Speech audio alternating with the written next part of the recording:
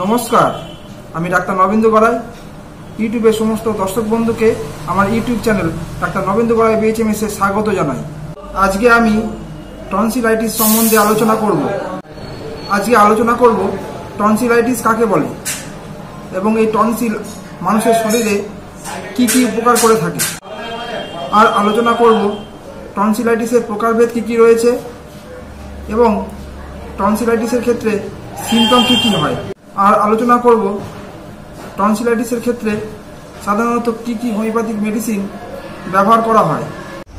তাহলে ভিডিওটি প্রথম থেকে শেষ পর্যন্ত সম্পূর্ণ দেখুন। যদি ভিডিওটি ভালো লাগে, তাহলে অবশ্যই ভিডিওটি লাইক করুন, বন্ধুদের মধ্যে শেয়ার করুন, কোনো প্রশ্ন থাকলে অবশ্যই কমেন্ট করুন। আর যদি আপনি আমার এই চ্যানেলে নতুন হয়ে থাকেন, তাহলে অবশ্যই চ্যানেলটিকে সাবস্ক্রাইব করুন। তাহলে প্রথমেই জেনে নেব টনসিলাইটিস কাকে বলে। টনসিলের ইনফ্লামেশন বা প্রদাহ হলে আমরা সেই রোগগ্রস্ত কন্ডিশনটাকে টনসিলাইটিস বলে থাকি। টনসিল দুটি গলার ভিতরে বা ইন্টারনাল থ্রোটের ভিতরের দিকে অবস্থিত। টনসিল দুটি ডিম্বাকার হয় এবং ফ্যারিংসের ল্যাটারাল ওয়ালে অবস্থিত হয়। এই টনসিল লিম্ফয়েড টিস্যু দ্বারা তৈরি হয়ে থাকে। এবারে টনসিলাইটিসের প্রকারভেদ সম্পর্কে জেনে নেব। টনসিলাইটিস সাধারণত তিন প্রকারের হয়ে থাকে। প্রথমে বলব অ্যাকিউট টনসিলাইটিসের কথা। এই অ্যাকিউট টনসিলাইটিসের সাইন সিমটম তিন দিন থেকে দু সপ্তাহ পর্যন্ত চলতে পারে। এবারে বলব রিকারেন্ট টনসিলাইটিসের কথা। এক্ষেত্রে টনসিল ইনফেকশান বছরে বেশ কয়েকবার হয়ে থাকে। তৃতীয় হলো ক্রনিক টনসিলাইটিস ক্রনিক টনসিলাইটিসের ক্ষেত্রে লং টার্ম টনসিল ইনফেকশন হয়ে থাকে। এবারে আলোচনা করব টনসিল দুটি মানুষের শরীরে কি কি কাজ করে থাকে এবং কি কি উপকার করে থাকে। প্রথমত ইমিউন সিস্টেমের একটি অংশ হল টনসিল। যখন আমাদের শরীরে রোগ জীবাণু প্রবেশ করে, তখন টনসিল অ্যান্টিবডি তৈরির মাধ্যমে আমাদের শরীরকে রক্ষা করার চেষ্টা করে। বিভিন্ন ইনফেকশনের থেকেও রক্ষা করে। বিশেষ করে বাচ্চা বয়সে ছেলেমেয়েদের জন্য শরীরে রোগ প্রতিরোধ ক্ষমতা বৃদ্ধির জন্য টনসিলের বিশেষ ভূমিকা রয়েছে। আমাদের খাবারের মাধ্যমে, নিঃশ্বাস প্রশ্বাস, বাতাসের মাধ্যমে যখন শরীরে মাইক্রো অর্গানিজম প্রবেশ করে, অর্থাৎ ভাইরাস, ব্যাকটেরিয়া ইত্যাদি প্রবেশ করে, তখন টনসিল অ্যান্টিবডি তৈরির মাধ্যমে এই মাইক্রো অর্গানিজমকে মেরে ফেলার চেষ্টা করে। এবং এই টনসিল লিম্পোসাইট এবং প্লাজমা সেল তৈরি করে।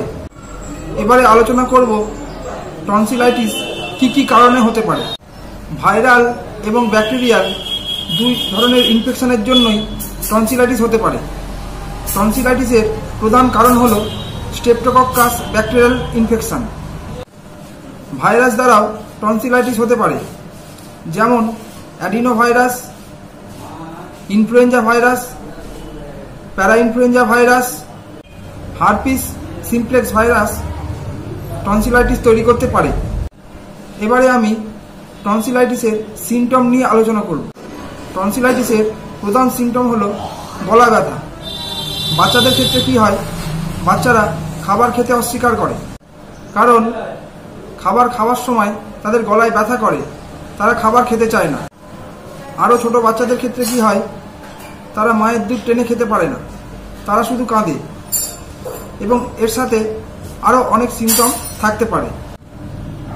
টনসিলাইটিসের আক্রান্ত রোগীর শরীরে জ্বর আসে।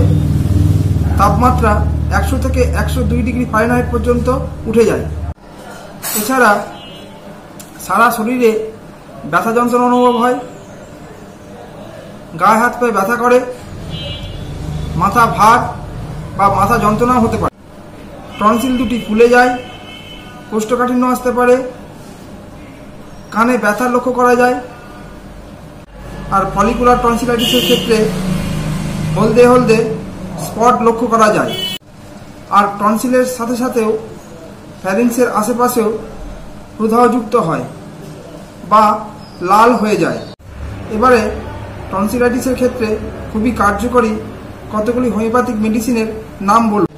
যেমন aconite napellus, arsenic album, belladonna, hepar sulph merc bin iod, merc proto iod, phytolacca baryta carb ইত্যাদি। এই মেডিসিনগুলি টনসিলাইটিসের ক্ষেত্রে খুবই ভালো কাজ করে। আর এই মেডিসিনগুলির রোগ লক্ষণ এবং প্রয়োগবিধি সম্বন্ধে আমি পরবর্তী পর্বে বিশদে আলোচনা করব। যদি আজকের ভিডিওটি আপনাদের ভালো লাগে, তাহলে অবশ্যই ভিডিওটি লাইক করুন, বন্ধুদের মধ্যে শেয়ার করুন, কোনো প্রশ্ন থাকলে অবশ্যই কমেন্ট করুন। আর আপনি যদি আমার চ্যানেলে নতুন হয়ে থাকেন, তাহলে অবশ্যই চ্যানেলটিকে সাবস্ক্রাইব করুন। আজকে এ পর্যন্তই, দেখা হবে পরের ভিডিওতে। নমস্কার।